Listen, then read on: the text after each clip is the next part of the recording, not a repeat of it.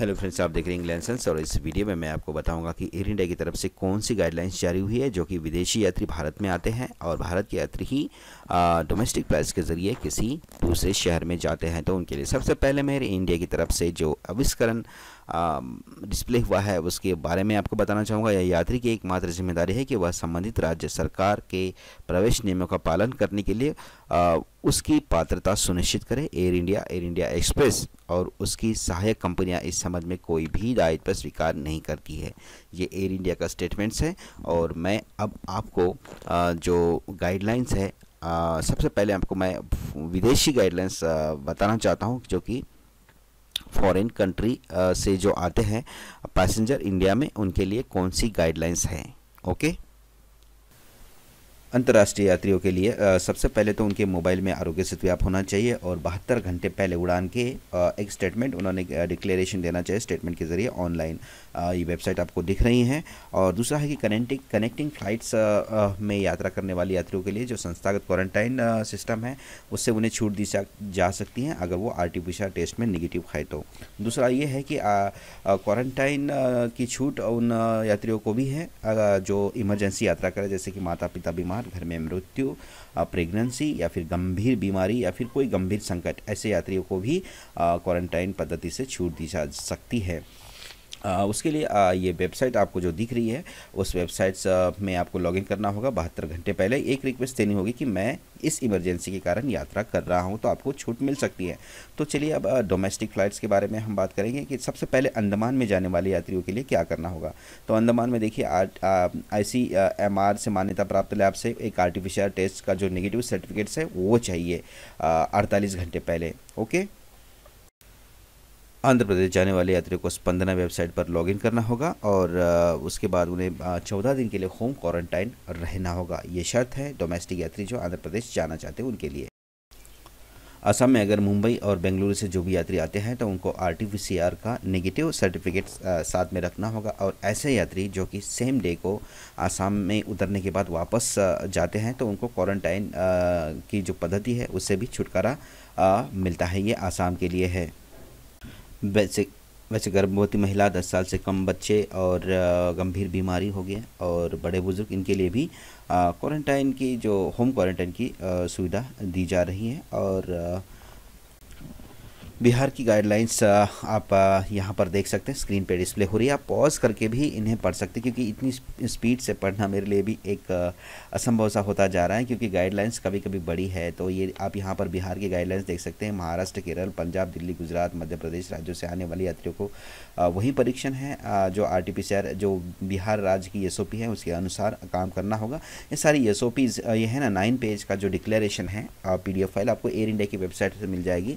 आप आसानी से इसे डाउनलोड करके पढ़ सकते हैं। मैं आपको डिस्क्रिप्शन में लिंक भी प्रोवाइड करूँगा।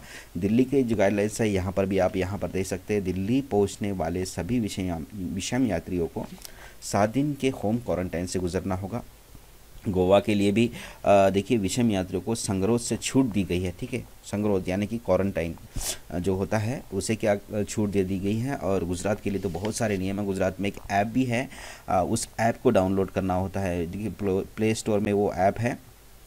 इसकी लिंक मैं आपको जो वेबसाइट्स है ना, ये ये सारी की सारी मैं आपको डिस्क्रिप्शन में आपको मिल जाएगी। अगर आपको नहीं भी मिलती है डिस्क्रिप्शन में तो एयर इंडिया की जो वेबसाइट्स है होम वेबसाइट में जा होम वेबसाइट में जाकर आप क्वारंटाइन जो डिटेल्स हैं गाइडलाइंस हैं वो सर्च करके आप डाउनलोड कर सकते हैं। तो हरियाणा के लिए भी आप यहाँ पर पढ़ सकते हैं गाइडलाइंस हरियाणा में आने वाले सभी विषम यात्रियों को चौदह दिनों के लिए होम क्वारंटाइन से गुजरना होगा।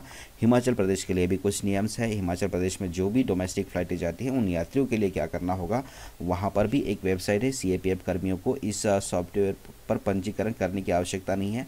और कुछ जो सीमावर्ती राज्य है ना वहाँ पर जो फोर्सेस के जो लोग होते हैं मेंबर्स होते हैं उनके लिए छूट दी गई है। उनके लिए क्वारंटाइन की कोई भी आ, वो नहीं है शर्तें। जैसे जम्मू कश्मीर हो गया उत्तराखंड हो गया हिमाचल प्रदेश है ना अरुणाचल प्रदेश इस तरह से जो सीमावर्ती राज्य है आप अगर डिटेल में उनकी गाइडलाइंस पढ़ेंगे तो हो सकता है आपको वहाँ पर मिल जाए। मैंने जम्मू कश्मीर की गाइडलाइंस में पढ़ा था कि वहाँ पर जो जो डिफेंस यात्री है उन्हें जो क्वारंटाइन जो सुविधा है या फिर जो भी शर्त है, या फिर जो भी एक टर्म है, उससे गुजरना नहीं होगा। ठीक है? ये देखिए, जम्मू कश्मीर का आई गया आपके सामने। जम्मू कश्मीर में पहुँचने वाले सभी यात्रियों को आर टेस्ट से गुजरना होगा। जब तक परीक्षण में नकारात्मक वगैरह, अगर मान लो आपने टेस्ट नहीं भी किया है तो वहाँ जाकर टेस्ट होगा। ये नहीं है कि आपका आर टेस्ट नहीं हुआ है। एयर इंडिया में ऐसा है कि जम्मू कश्मीर में खास करके अभी तो मेरे सामने वही आया है। अगर आपने टेस्ट नहीं किया है आर्टिफिशियल जैसे कि दिल्ली से जम्मू कश्मीर जा रहे हो नहीं हुआ है तो आपको जम्मू में उतर कर भी वहाँ पर टेस्ट होगा लेकिन वहाँ पर आपका टाइम वेस्ट होगा। इससे अच्छा है कि पहले ही बहत्तर घंटे पहले आपकी टेस्ट आपका आ, करवा लीजिए क्योंकि वहाँ पर आपको इंतज़ार करना होगा फिर फ़्लाइट में जाने का फ़ायदा ही क्या है।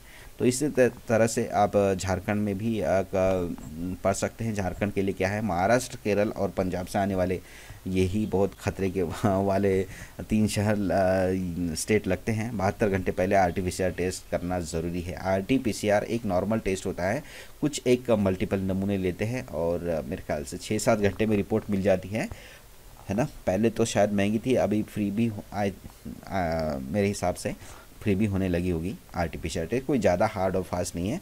लेकिन आपको है ना आर्टिफिशियल टेस्ट जब करना है तो गवर्नमेंट की जो रिकोगनाइज है लैब टेस्ट वहीं, उन्हीं से आर्टिफिशियल टेस्ट को लेना होता है। और ये कौन से होते हैं? आई सी एम आर जिसे हम बोलते हैं ना इंडियन जो क्या है काउंसिल ऑफ़ मेडिकल रिप्रेजेंटेटिव ऐसा कुछ है उसका फुल फॉर्म तो वो जो लैब है, उन्हीं के द्वारा की हुई जो टेस्ट है, उसकी लिस्ट अगर हो सके तो मैं आपको दे दूँगा डिस्क्रिप्शन में। तो उनसे ही लिए किया हुआ टेस्ट है वो मान्य होगा, ठीक है? तो लद्दाख के लिए आप पढ़ सकते हैं यहाँ पर। यदि लद्दाख पहुँचने वाले सभी यात्री सन्मोन स्पर्शोन्मुख यात्रियों को संग्रोह से छूट दी जाएगी, यदि वे आने से पहले 48 घंटे के भीतर वहीं आईसीएमआर, अधिकृत प्रयोगशाला द्वारा कोविड 19 का नकारात्मक आर टेस्ट अगर लेते हैं, सर्टिफिकेट लेते हैं तो मध्य प्रदेश के लिए वहीं है आर टी सबके लिए कंपलसरी हो गया है, ठीक है? सिर्फ़ एक दो ही ऐसे राज्य है जो आर के अलावा कोई और टेस्ट है उनमें मैं एक्चुअली मेरा कम समय में इतनी बड़ी गाइडलाइंस नहीं पढ़ पा रहा हूँ तो इसलिए मैं आपको डिटेल्स में नहीं बता पाऊँगा, लेकिन मैं आपको टच दे रहा हूँ कि आपको कहाँ पर इंफॉर्मेशन मिल सकती है।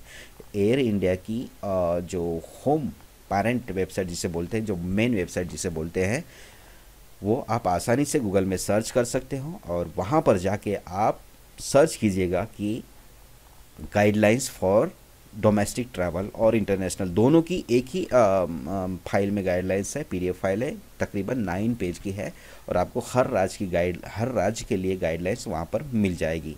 तो आप आराम से पढ़ सकते हैं और महाराष्ट्र में नवीनतम दिशा निर्देश, महाराष्ट्र में हर रोज़ नियम बदलते हैं। तो आप यहाँ पर देखिए एनसीआर दिल्ली, केरल, राजस्थान, गुजरात और गोवा से आने वाले यात्रियों के लिए अनिवार्य है। वहीं आर टेस्ट अनिवार्य है।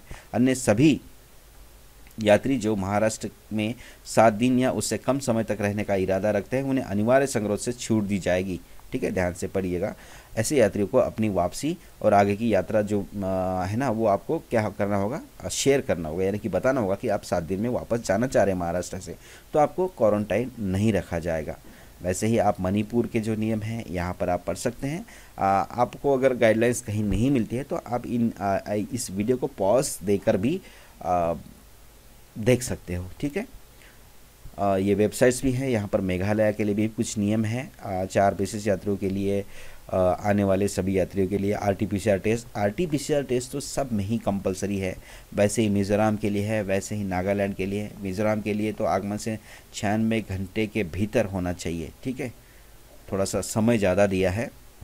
नागालैंड के लिए होम क्वारंटाइन है चौदह दिन और संस्थागत संगरोध सात दिन हो गया। और उड़ीसा के लिए भी आप गाइडलाइंस यहाँ पर देख सकते हैं एंटीजन टेस्ट हाँ ये है उड़ीसा में एंटीजन टेस्ट एक जो टेस्ट है नया आ, इसका रैपिड एंटीजन टेस्ट होता है एक ना वैसे ही टेस्ट होता है उससे थोड़ा सा हल्का टेस्ट होता है जो आरटीपीसीआर टेस्ट होता है ना उड़ीसा में जाने के लिए वो टेस्ट आपको करना होता है एंटीजन टेस्ट पचपन वर्ष से अधिक आयु से आयु के सभी यात्रियों के लिए अनिवार्य है यानी कि वो थोड़ा सा कम पावरफुल होता है टेस्ट ना आरटीपीसीआर टेस्ट से। आसान टेस्ट होता है। तो वो उड़ीसा में आपको करना होगा। और राजस्थान में पहुँचने वाले सभी यात्रियों के लिए आरोग्य सेतु ऐप इंस्टॉल करना। आरोग्य सेतु वैसे है ना, यहाँ पर आपको गाइडलाइंस में नहीं भी दिखा है ना तो आपको आरोग्य सेतु सेतु ऐप को मोबाइल में रखना ही होगा। वैसे भी वो एक इंटीमेशन देता है, दुनिया का पहला ऐसा एप्लीकेशन है जो कोविड का आपको सिग्नल देता है कि आपके अगल बगल में कोई ऐसी बीमारी वाला व्यक्ति है। तो ये अच्छा ही है कोई मतलब इसमें हंसने वाली या मज़ाक उड़ाने वाली या फिर है ना यू नो कि निगलेक्ट करने वाली बात नहीं है। आपको को जो आरोग्य सेतु ऐप है वो तो रखना ही चाहिए। ओके? आ, वैसे भी उसको दुनिया का सबसे पहला एप्लीकेशन होने का जो दर्जा हासिल हुआ है। वैसे चलिए चलते हैं त्रिपुरा में और त्रिपुरा में महाराष्ट्र से हवाई हवाई यात्रा करके आने वाले यात्रियों के लिए अनिवार्य रूप से कोविड नाइन्टीन का वहीं रैपिड एंटीजन टेस्ट जो कुछ राज्य है ना जो मतलब थोड़े से माइल्ड टाइप के जैसे त्रिपुरा अभी थोड़ी देर पहले शायद मिज़ोरम में अभी हम पढ़ रहे थे या मेघालय में तो वहाँ पर भी यही टेस्ट था रैट जिसे हम बोलते हैं। और उत्तराखंड के लिए देखिए वही है पाँच दिनों के बाद राज्यों को लौटने पर उत्तराखंड के अधिकारी को कोविड नाइन्टीन परीक्षण करना होगा। उत्तराखंड आने वाले यात्रियों के लिए सात दिनों आ, से कम समय के लिए कोई संगरोध नहीं।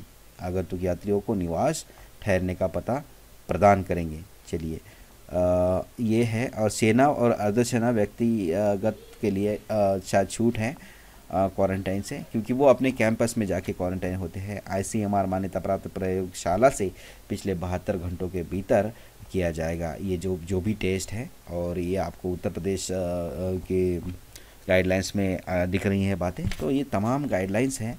और सारी की सारी गाइडलाइंस हैं। उनतीस राज्यों की जो गाइडलाइंस है, मैंने आपको बताने की कोशिश की है। आप चाहे तो हमारे वीडियोस को पॉज करके भी दे सकते हैं। अगर नहीं तो आप जो एयर इंडिया वेबसाइट है, वहाँ पर जाकर भी गाइडलाइंस को डाउनलोड कर सकते हैं। अगर हो सके तो मैं भी अपने डिस्क्रिप्शन में दे दूँगा। तो मिलते हैं नेक्स्ट वीडियो में किसी और इन्फॉर्मेशन के साथ।